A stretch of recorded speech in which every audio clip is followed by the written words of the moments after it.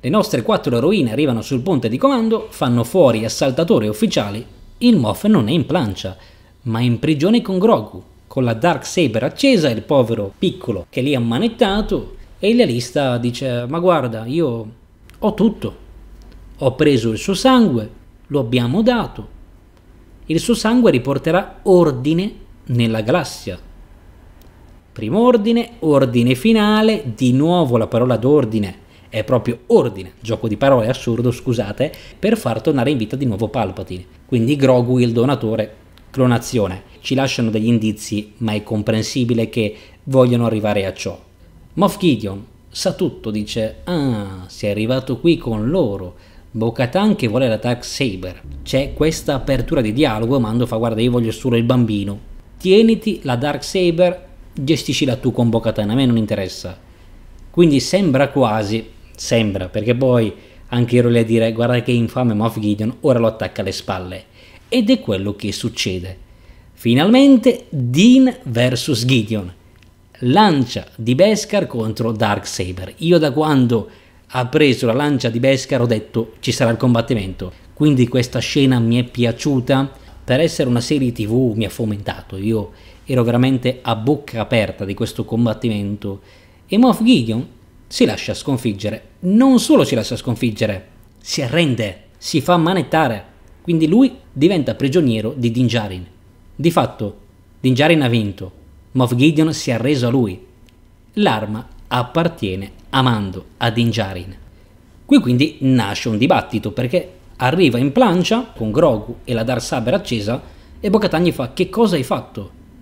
Eh guarda, ho salvato il bambino e se la ride. Moff Gideon se la ride perché lui lo sa, gli fa no, che cosa hai fatto con la spada?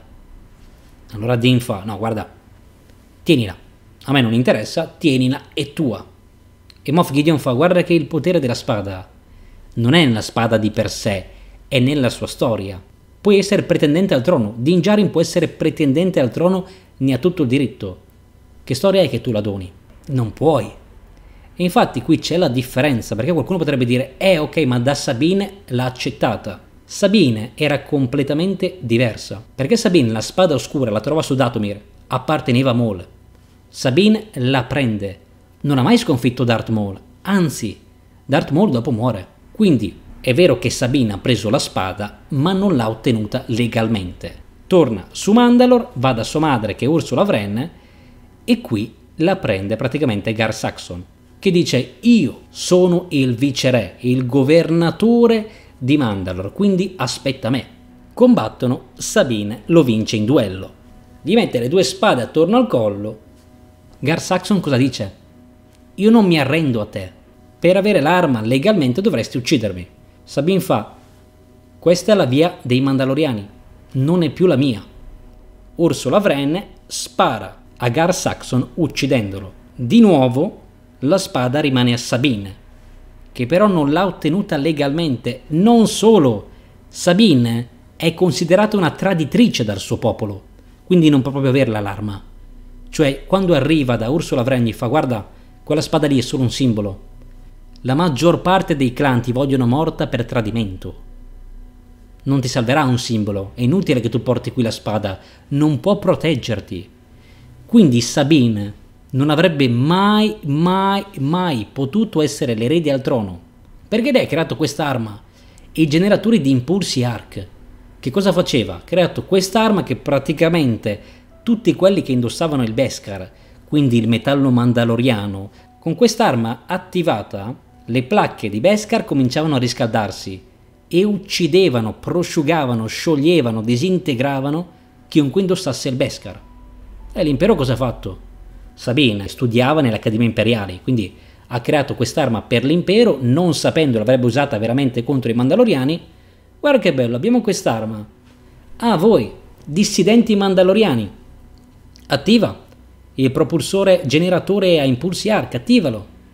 Gli Stormtroopers o chiunque abbia delle armature non di Beskar vive. Quelli che hanno il Beskar, il punto forte mandaloriano, rimane solo l'armatura, muoiono l'ha creata Sabine. Sabine non solo se ne va dall'impero, non può tornare su Mandalore perché è traditrice. Cioè nessuno si inchinerebbe mai a Sabine. Non importa che abbia la Darksaber, lei è traditrice, non può possederla, non l'ha neanche avuta legalmente. Qui lo vediamo in Rebels, Bo-Katan era la reggente, quindi lei di diritto governava Mandalore. È arrivato l'impero, i Saxon l'hanno tradita. Gar Saxon è diventato il governatore di Mandalore, nonché viceré imperiale. Quindi Saxon comanda Mandalore. Ma la maggior parte dei clan, nonostante obbediscano, credono che ancora la legittima sovrana di Mandalore sia Bo-Katan. Quindi tutti si riunirebbero lei. Non mi arrenderò a te. Vi ho rimesso infatti la frase perché qui ragazzi diventa difficile. Mi rendo conto per voi capire, per me spiegare, perché arriviamo a essere nella cultura mandaloriana che è molto a livello un po' feudale ma anche di clan. Quindi ci sono delle regole interne, delle regole molto, se vogliamo, a mo' di sovrano, di erede, diventa un attimo arduo. Però per capirci, facciamo un parallelismo semplice che mi è venuto in mente ora. Io sono re, sono re per diritto. La corona è un simbolo. Se io do la corona al mio giullare, ugualmente il popolo non riconoscerà mai il mio giullare come re.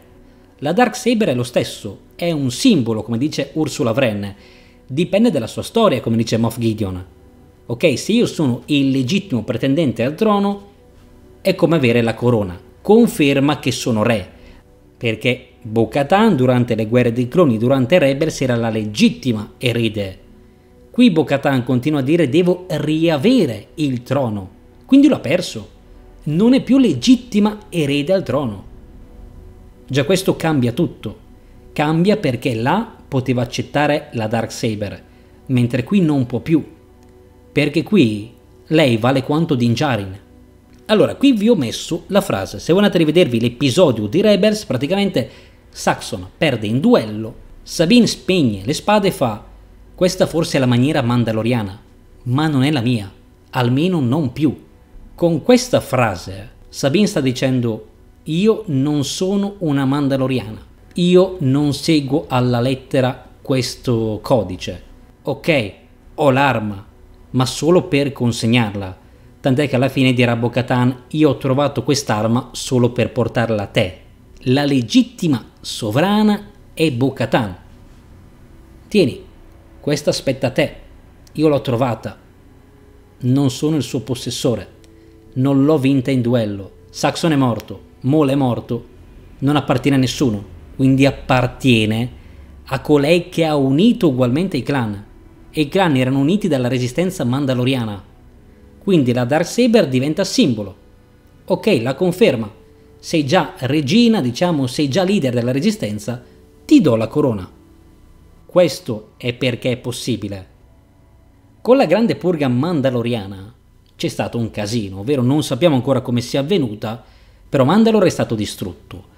Il trono non si sa a chi è andato, probabilmente non esiste più tutti i clan non hanno più avuto fiducia in Bo-Katan o comunque sono dispersi, quindi Bo-Katan non è più l'erede, deve riconquistarselo, deve riconquistarsi il trono e la fiducia dei clan. In quel momento la Dark Saber diventa proprio un simbolo, perché non c'è più un re identificato, no, serve uno proprio che ha la corona. Din Djarin, anche lui è un Mandaloriano, segue la via, non è come Maul che è uno straniero, ha vinto la Dark Saber in duello. Moff Gideon si è arreso a lui, quindi ne è il legittimo possessore. In più a differenza di Sabine, non è un traditore. È un Mandaloriano comunque. Quindi su questo piano, ora, legalmente ha la stessa probabilità di Bo-Katan di essere il futuro re. Cioè non può dire no, non lo sono. I Mandaloriani, i clan, sono divisi, sono dispersi, ma seguiranno il più forte. Quindi per riunirli serve il più forte, colui che legittimamente ha vinto la spada nera. Quindi il fallimento che Bo-Katan ha compiuto nella purga, probabilmente lei si è addirittura resa Gideon, pesa, perché lei non gode più di alcun prestigio. Non è come Rebels che tutti aspettavano il suo ritorno, che lei era legittima. Eh no, lei è una Mandauriana qualunque in questo momento.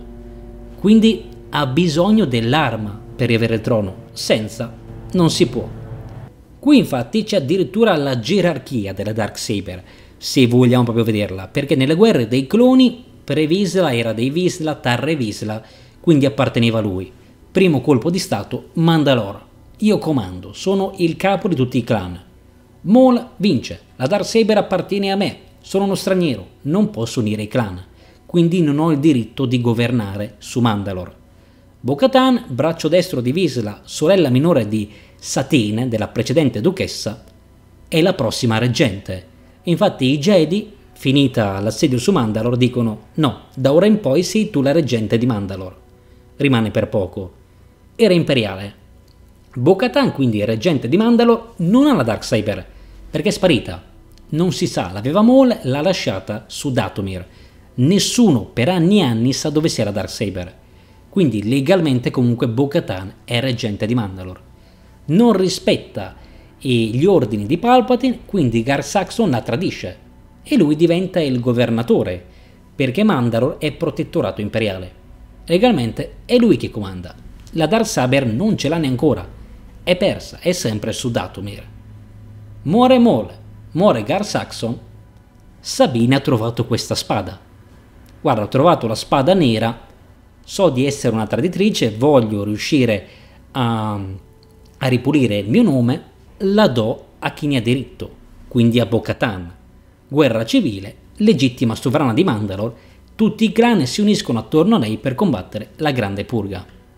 Questo era il riassunto. Meglio di così, ragazzi, eh, della spada io veramente non so spiegarvi. Io spero che sia arrivato il concetto.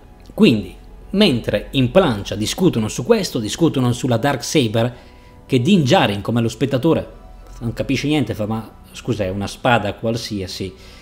Moff Gideon intanto se la ride perché è divertito da ciò, lui lo sapeva, ha sconfitto i Mandaloriani perché sapeva della loro cultura, quindi è riuscito a batterli sul campo di battaglia durante la Grande Purga.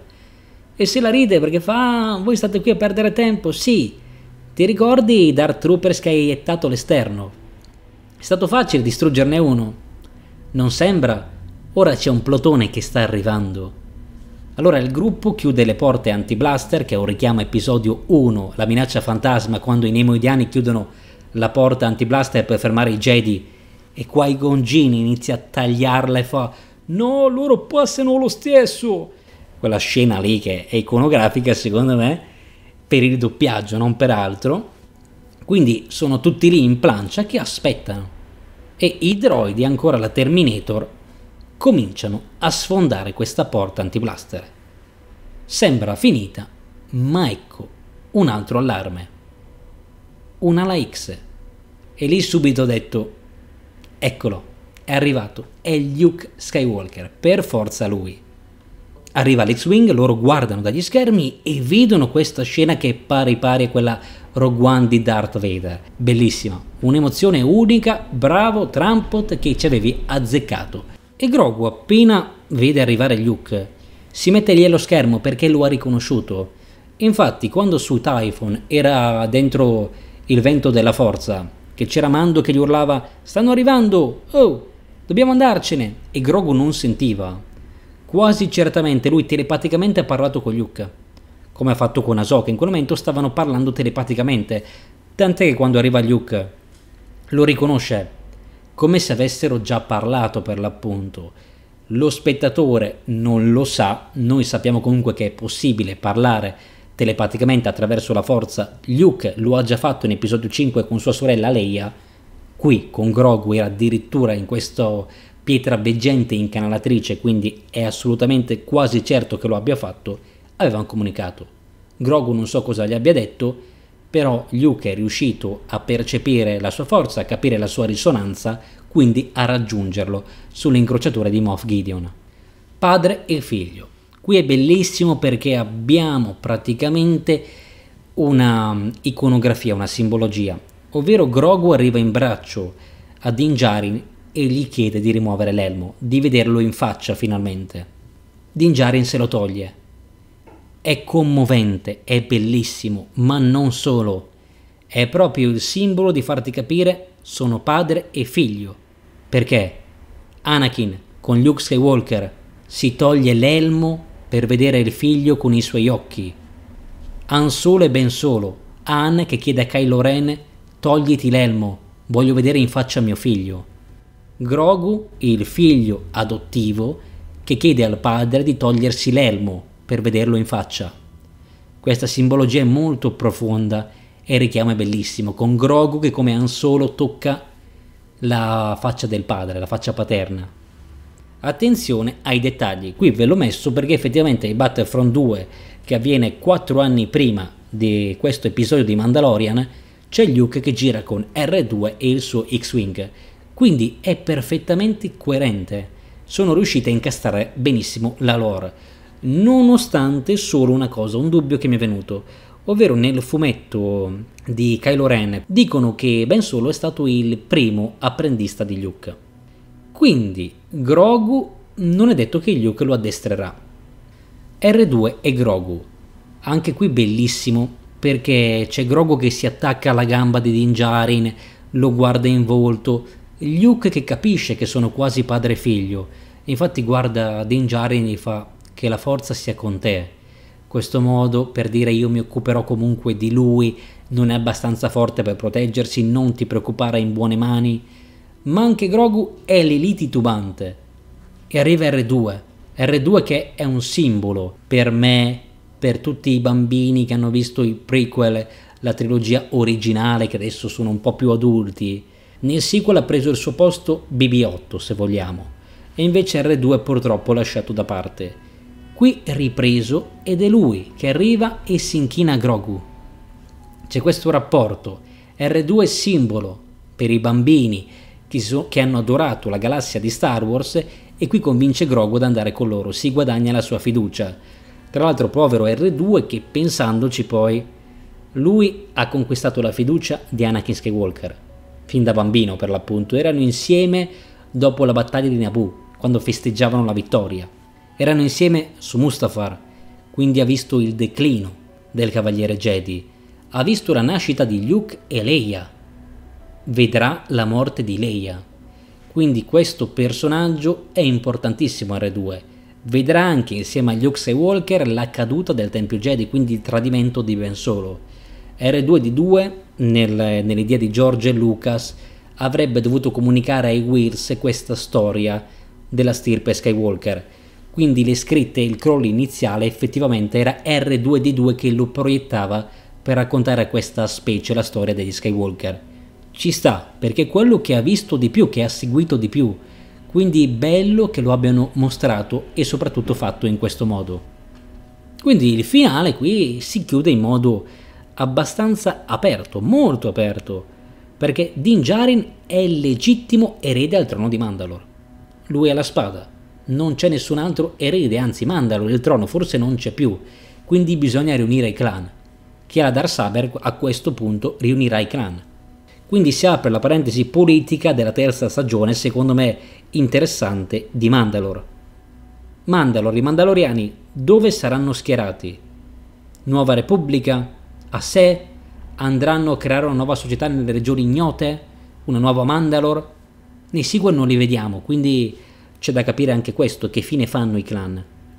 I lealisti, vero che hanno catturato il dottor Persing, vero che hanno catturato il Moff Gideon, ma hanno il sangue di Grogu, che è arrivato agli alisti al cultisti Sith, quindi gli esperimenti degli Strand Cast, quelli che creeranno Snoke, il figlio di Palpatine, e per l'appunto terranno in vita lo stesso imperatore, stanno andando avanti.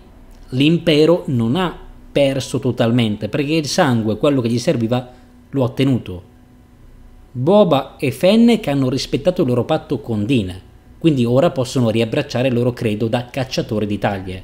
E infatti alla fine c'è l'ottimo cliffhanger finale. Cara Dune ora può consegnare le sue prede, Gideon e il dottore alla nuova Repubblica, quindi verrà ricompensata bene e soprattutto potrà consolidare la sua posizione da sceriffo, perché ha catturato due importanti elementi. Comincia inoltre il viaggio di Grogu e di Luke nel nuovo ordine di Luke che sta nascendo, ma che ufficialmente nasce tra 5 anni, con il primo apprendista Ben Solo. Quindi anche qui che strada seguiranno? Che cosa ne sarà di Grogu? Aperto anche questo finale. molte strade, molti spin-off che infatti sono pronti all'orizzonte. Il libro di Boba Fett è il primo spin-off. È bellissimo perché non ci sono gli artwork finale e io e mio fratello eravamo lì a dire mm, qualcosa non torna, aspettiamo. Aspetti c'è la scena finale. Il palazzo di Jabba Veat su Tatooine, Bib Fortuna, che ora praticamente ha preso il trono di Jabba, quindi comanda lui, si presume, tutti i vari loschi di Tatooine, arriva Boba Fett mi prendo il trono di spade. Quindi se dall'altra parte la Dark Saber rappresenta per il trono di Mandalore, si è preso il trono dei criminali di Tatooine. Quindi probabilmente diventerà il leader di questa nuova società di cacciatori di taglie, eccetera, eccetera. Sarà più un cartello criminale forse, ma il libro di Boba a me viene in mente per l'appunto Il credo di Boba Fett, che era un libro sui cacciatori di taglie in cui veniva spiegato un pochettino proprio il credo di Yaster. Potrebbe essere qualcosa del genere, sarà uno spin-off prodotto da John Favreau, da Dave Filoni e da Rodriguez, quindi mi aspetto una bomba, uscirà a dicembre 2021, non sappiamo bene quando, prima però di The Mandalorian stagione 3, che a questo punto se porta avanti i Mandaloriani lo chiamerei Mandalorians con la S, i Mandaloriani perché credo che ormai Bo-Katan sia in squadra insieme agli altri, non puoi scinderli. Vediamo quindi questo nuovo spin-off con protagonisti Fennec e Boba. Vediamo un pochettino le vostre domande quindi. Allora, ho quella di Giuseppe che mi ha scritto in privato. Mandalorian colma molti buchi di trama presenti nei sequel. Questa strada mi sta facendo rivalutare la nuova trilogia. Pensi che proseguendo possa darle più valore? Dopo Mandalorian, anche tu digerisci meglio i sequel? Allora, Giuseppe, ni, ovvero i sequel li prendo singolarmente, quindi le critiche che ho fatto ai sequel rimangono tali. Facciamo così, è come acquistare i sequel come se fossero un paio di jeans costoso. Li compro, li metto, non calzano bene, gli mancano le tasche, sono pieni di buchi, di difetti, devo andare dal mio sarto che è molto bravo, fa guarda ti metto io la tasca, ti rattoppo un po', alla fine posso indossarli, ma comunque mi dà fastidio che quando li ho comprati non fossero completi. Quindi per il sequel di Star Wars direi che è lo stesso. Ora c'è Favreau e dei filoni che sono ottimi sarti, stanno rattoppando. Mi piace perché a livello di lore globalmente posso iniziare a parlarne, a capire qualcosa come si sviluppa la trama, ma comunque dovevano farlo dall'inizio. Paolo. Ciao, la mia domanda Emilio nella prossima diretta è perché se Bocatan non è estremista non accetta la Dark Saber da Mando e perché in Rebels non si era fatta problemi ad accettarla da Sabine. Esattamente per come hanno spiegato, perché là era la legittima erede al trono, quindi la spada era solo un simbolo aggiuntivo, in più non apparteneva a Sabine. L'ha presa perché era di passaggio da una che l'ha trovata alla legittima sovrana, quindi la legittima erede al trono. Ora non c'è un legittimo erede al trono, quindi serve un simbolo, serve la Dark Saber, serve la corona per identificare quale sarà il futuro re, il futuro sovrano. Trampot, meglio questa stagione o la scorsa? Luke era il Jedi che volevi vedere? Io sì, penso anche te. Esattamente Trampot. Luke era il Jedi che volevo vedere, sì, io lo volevo in questa versione anche nei sequel, quindi mi è piaciuto tantissimo Avrei voluto vederlo di più, ma come Darth Vader in Rogue One il minutaggio è perfetto, ti entusiasma a dovere. Meglio questa stagione o la scorsa? Non lo so. Diciamo che hanno avuto entrambi dei difetti. Questa ha avuto l'episodio 9, quello su Tatooine, il capitolo 9, che era citazione ad Une, molto apprezzato, ha avuto molto fanservice, talvolta forzatino, altre più equilibrato non lo so, non saprei neanche io valutarlo, hanno entrambi pro e contro. La prima aveva un budget ridotto, era più un esperimento. Qui con un budget maggiore si sono anche spinti, hanno fatto quella conclusione con Boba Fett un po' alla Marvel, quindi titoli di coda, poi il libro di Boba Fett arriverà a dicembre. Stanno, si stanno spingendo oltre, hanno rischiato di più forse in questa. Devono cambiare completamente stile narrativo nella terza stagione se no inizia a stufare, quindi spero che vadano più sulla politica. Hanno tolto Grogu, mossa coraggiosa, se davvero lo hanno tolto, magari torna, però nelle prime puntate non ci sarà, per cambiare la struttura narrativa. Non credo ci sarà più mi sposto da A da B, qualcosa di diverso, più solido. The Bad Batch mostrerà il passaggio da Bo-Katan e Saxon, Ciro Targaryen. Spero molto di sì. Non credo immediatamente, magari non prima della, della seconda stagione, ma è possibile anche nella prima. Dipende quanti episodi saranno. Se ne fanno pochi come l'ultimo di The Clone Wars, forse non ce lo buttano come arco narrativo. Però è lì lì, dice che praticamente all'inizio, quindi non mancherà tanto, se non capita nel primo anno capiterà nel secondo. Io spero di sì, quindi, di vedere assolutamente il passaggio da Bo-Katan, dai Kreis a Gar Saxon, perché è importante, e dato che in era imperiale, inizio era imperiale, non possiamo perdercelo, anche perché è un forte collegamento a Rebels, che all'inizio Bo-Katan erede al trono, gli porge subito Sabine la spada, fa no, non me la merito perché io ho avuto la mia occasione di regnare, l'ho persa. Era tale il popolo, comunque è sempre stato con lei. Astro imperiale, Luke potrebbe solamente addestrarlo per autodifesa, quindi non prenderlo come Padawan. Potrebbe essere. Potrebbe essere così o potrebbero dire che comunque Grogu è ancora un youngling, quindi effettivamente finché sei youngling non ti prendono come Padawan. Devi avere una certa età, devi sapere usare le spade laser, eccetera, eccetera. Quindi non essendo Padawan, il primo Padawan effettivamente rimane ben solo Radioactive, Dr. Persing, eh, che studiava Grogu perché ha sbugiardato quello che resta dell'impero. Pensavo che venivano manipolati dall'impero. E anche lì, ma perché Dr. Persing, da quanto ce l'hanno mostrato fin dalla prima stagione, non è uno che ha molta spina dorsale.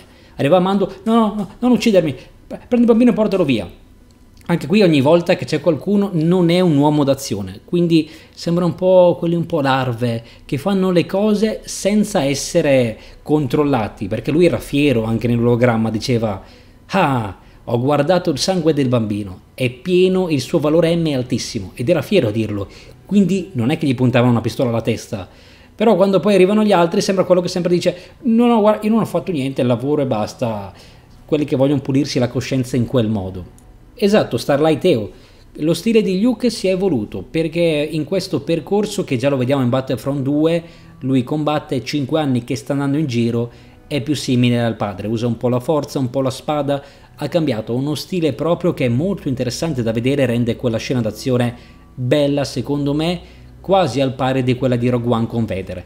Quella per ora è ancora al top, secondo me, però ce l'hanno fatta fare un buon richiamo. Ah, Diego, è vero, prima di chiudere, la CGI di Luke mi è piaciuta fino a un certo punto, ovvero hanno usato un attore giovane che ha 29 anni, hanno rimpiazzato il volto come fatto in Rogue One con la principessa Leia, quindi hanno messo questo volto, Mark Hamill a dare la voce, eccetera, eccetera. Bello, ci sta, però anche qui per la fretta, un po' per il basso costo, perché comunque, ripeto, è una serie tv che per quanto possa avere il diciamo il budget elevato non sarà mai quello di un film quindi concordo con te Diego certe volte quando eri lì che si muove sfarfalla un po' lo vedi ci ho chiuso volentieri un occhio poi c'è da dire che essendo un servizio digitale come hanno cancellato gli errori in eh, quello del ragazzo che si vedeva i jeans l'elicottero secondo me guarda l'hanno fatta uscire perché doveva uscire ma la sistemano, la ritoccano, la rivedi tra un anno, sarà migliore. Perché ho visto molte lamentele effettivamente. Io guarda, ci ho chiuso un occhio perché so che l'attore non è più così giovane, sicuramente se lo riprenderanno sceglieranno un attore. Cioè, molti citavano il guerriero d'inverno, l'attore del guerriero d'inverno della Marvel e ci starebbe perfettamente. Quindi se dovranno fare cose più impegnative prenderanno a quel punto un attore da vederlo lì così, guarda, mi ha dato un pochettino fastidio, ho detto non è il massimo, ma neanche mi sono lamentato troppo. C'è stata, dai, accettabile. Detto ciò, ragazzi miei, io vi saluto. Metto l'elmo per l'ultima volta e guidiamo il ride a Turi. Grazie mille Cane Spaziale per aver guidato il ride. Grazie mille a mio fratello Ste, grazie mille a Diego, grazie mille a GS Trampo e a tutti gli abbonati Grazie mille a voi di essere rimasti in mia compagnia anche per questo gran finale di stagione. Vi aspetto domani, sempre qui alle 15.30 con il signor Giacomo, per parlare di The Mandalorian stagione 1 e 2 e del suo futuro. Ragazzi miei, questa è la via.